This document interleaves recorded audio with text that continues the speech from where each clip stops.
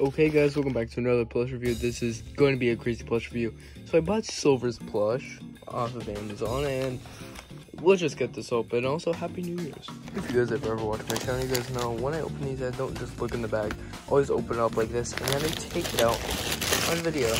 Alright. Ooh, hoo, hoo. Oh, this plush looks... Is it supposed to be smiling? Wait, wait, wait, wait, wait. I'm gonna flash the image up on screen. I don't think it's supposed to be. I think it's supposed to be smiling. But at the same time, it looks like it's supposed to be printed like that. But watch far actually looks really, really nice. Just oh yeah, we we have to get this thing open.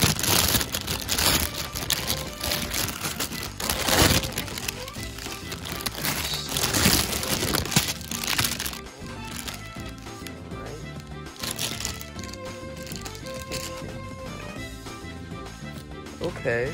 Um. Well, he has really, really cool uh, gloves. Really, really, really well designed.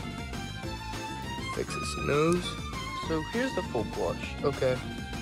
I'm doing the review, and then I'll tell you just the other stuff I find slightly weird.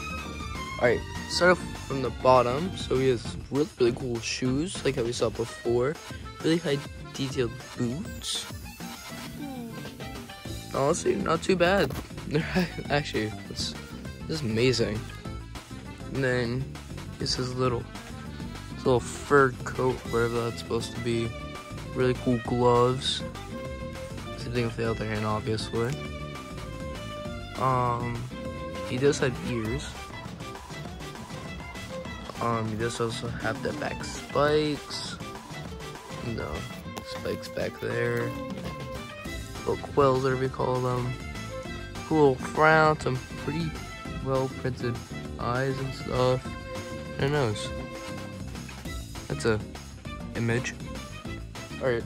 Now, one thing I find personally weird about this is, um, his face looks like something off.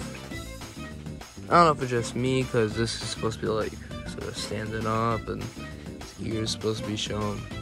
I'm gonna flash an image up on screen of him and just see if there's a difference.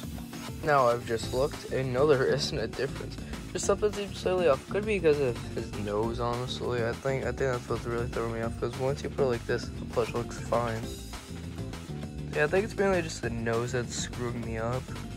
But um, honestly, really cool plush. And um, a trailer's dropping tonight explaining what this whole guy's gonna be and main purpose why I ordered it. So yeah. I'd say 7 out of 10 plush, honestly. I just, no, no. I mean, a lot of detail put into it, but just, I don't even know what to say. I'll say screw it, 7 to 8, or possibly a 9. That's me being generous.